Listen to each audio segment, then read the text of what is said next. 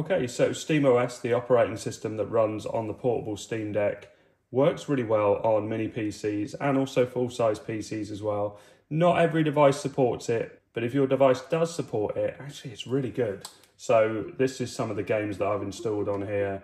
And the added bonus is, so say GTA Vice City, which is a very old game, with Windows 11, I haven't had it playing for quite a while. There's all sorts of fixes. I've tried them, couldn't get it to work. On this, because it's designed to work on the Steam Deck, people have already done the work. And so it installs the right compatibility layers and various different things, and it just loads up and works perfectly fine. So let's have a very quick look at it, but then we'll go straight into the tutorial and show you exactly how to install it. Damn it, Vercetti! So this is a very old game. It's on the highest settings it will possibly run on, and it looks great and runs absolutely fine. And as I say, because this is such an old game, it really has trouble working with Windows 11 and just doesn't start for me. So let's quit out of this and we'll have a look at how to install it. So let's shut this down.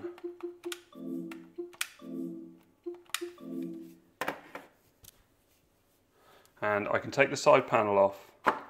And what I'm going to do is take out this NVMe drive. So this has got SteamOS installed on it, but I'm going to put this back to the state that it was as an original Windows 11 PC. So let's remove this drive and pop Windows 11 in. So this is back to as it was now I'm going to start this up pressing F7.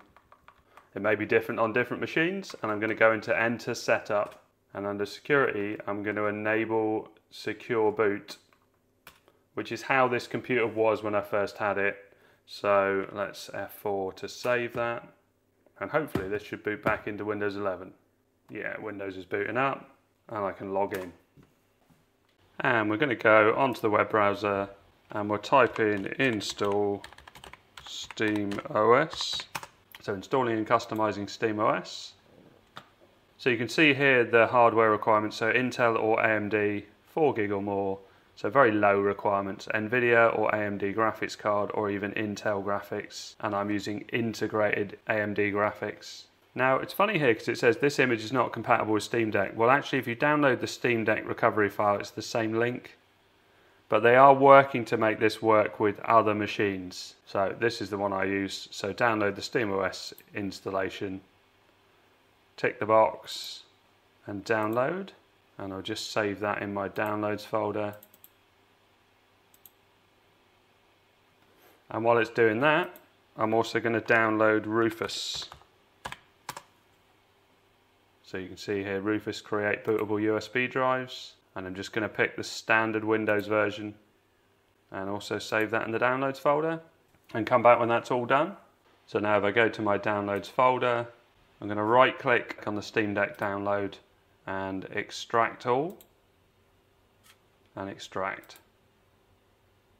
This will take a while depending on your device. Okay, so that's all done. So let's go back to downloads and we're going to run Rufus and yes. I'm going to say no to this. So now what we need to do is select the SteamOS ISO that we downloaded. So hit select, go to your downloads folder, and it's inside this folder. So this is the zip one. We want the one that's been unpacked. And this is the image. So let's hit open. Pop a USB stick in. This one's a 64 gig, but you only need 16 gig, it says in the instructions. So let's pop that in. You can see at the top here, this D drive is my 64 gig stick, so that's already selected as it's the only device writable in this system at the moment. And let's hit start. And OK. This will write over everything that's on the USB stick. And then come back when that's all done. Okay, that's all finished. So let's close everything down and shut down the computer. Now I think the safest thing to do now is to remove the Windows installation. So what I'm going to do is take this NVMe out with Windows 11 on it. There we go. And I'm going to pop this 256 drive in. Doesn't fit right because I haven't got a screw for it, but I'm not going to worry about that. And I'm going to boot up and I'm going to tap F7.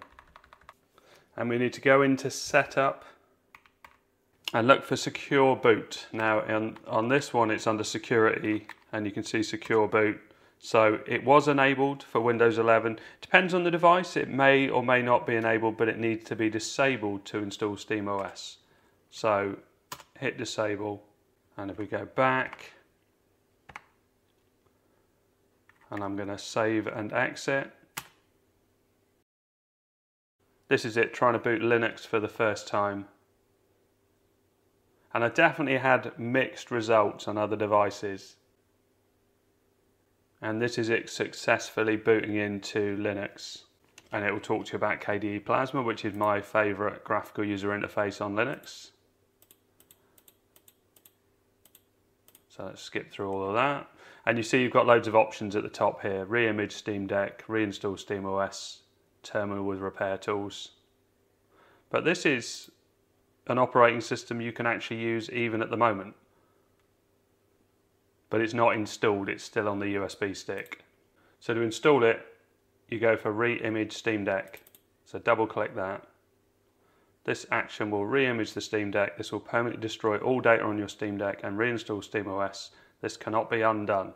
So this is the reason I said to take out the Windows drive because you don't want to overwrite Windows. Unless you do want to overwrite Windows and then you could have left the Windows drive in and just let it put SteamOS on that drive and just erase everything. So I'm going to hit proceed and let it do its thing. So that didn't take very long at all, only a few minutes. Choose proceed to reboot the Steam Deck now. So I'm going to hit proceed. Nice SteamOS logo and you can see all of this is pretty logical. I'm going to use a controller for this but you can use mouse and keyboard. So I've got an Xbox 360 controller and time zone. I've got a wired connection in mine and just let it do its update. As it says on screen, this may take some time. Pay no attention to how many seconds are remaining, it means nothing. As you can see, it's just gone up. And more than 11 minutes after it said one second remaining, it's still going. Uh, but not to worry, it is definitely still working. At least we've got that line going up to show us the progress. So that did take quite a while, but eventually it got there. So now what I can do is hold my camera up and launch the Steam app. Just use my face to unlock and that will sign me in. Sign into Steam. Such a clever system this. And we're in. Welcome to Steam Deck, sort of. So that's to show you the installation, but I've already installed a load of games on this 512 disk, so I'm going to put that back into the tower. Let's restart. All PCs should do this with magnets. And I could put the Windows drive in because you see I've got two NVMe slots, but because SteamOS works with Secure Boot disabled and this version of Windows 11 needs it enabled, it means that I'd have to keep switching the BIOS. So what I'd probably do is just do a clean install with Windows 11 without Secure Boot and then I could boot into whichever operating system I wanted. But for now, let's concentrate on SteamOS. Now, I think the good reason to use this is because if you've got it plugged into a TV, it works very well with a controller and you really don't need mouse and keyboard. It's designed to work without that, but mouse and keyboard is still there. But it's very easy to just click on a game and hit install and it just starts to install. And while it's doing that, if I press the Xbox button, I can go into the library and I can start playing one of the other games that's on here. So say for instance this Hot Shot Racing. I can't remember if this was free, I think it was. It's pretty cool. Very nice arcadey gameplay. We'll just do a single race.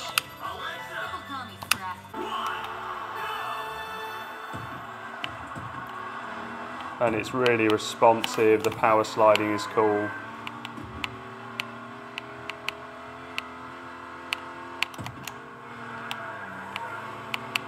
Yeah, I really like it. I would definitely play this again.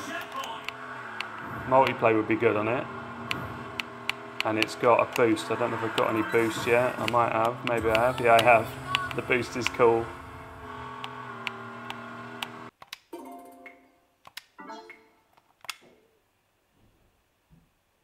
Yeah, very logical to quit out, very logical to go back into your library and find a game.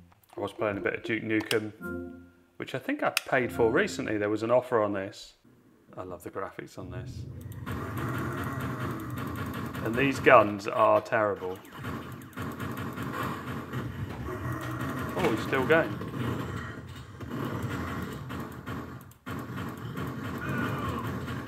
Now we've got a better gun. But yeah, definitely working absolutely fine. What was that? Oh, here we go. Bit of Tomb Raider, something with a bit better graphics. Oh, and it remembers from me playing it on something else. So as you can see, looking very nice. Do like the bow and arrow in this.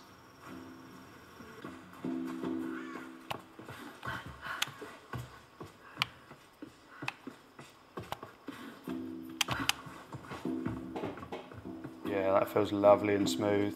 Oh. Now it's worth mentioning there are some big games that don't work through Steam. Uh, so if I, say for instance, go for FC24, which I've got on here. So if you hit install, see it's unsupported, and that's because of an anti-cheat system. Same with Fortnite, same with, I think, PUBG as well. So if I go install, yeah, which is, which is a bit of a setback, but there are still loads and loads of games you can play. But also, if there's a game that's not available through Steam or you bought it through another system, if you quit out, so we go power and switch to desktop, because this is running Linux, we can install things through the Discover Store. So if I launch the Discover Store and do a search for Lutris, this is a way of playing Windows games on Linux, but it also works with various different stores as well, because sometimes you need uh, a store like Ubisoft or Epic Games to be able to install the game. But also we go to games and emulators. You've got all sorts on here, N64, PSP, RetroArch, obviously multi-game emulator system, GameCube and Wii, Nintendo Wii U, Game Boy Advance, PlayStation, PS2, Xbox, PS3, and that one at the top that I'm not going to mention. Yeah, loads of choice. So we launch Lutris, you can see uh, good old games, Epic Game Store, EA, Ubisoft, Steam, to fill in some of those gaps. Okay, so I hope all this helps. Thanks very much for watching. Please like and subscribe.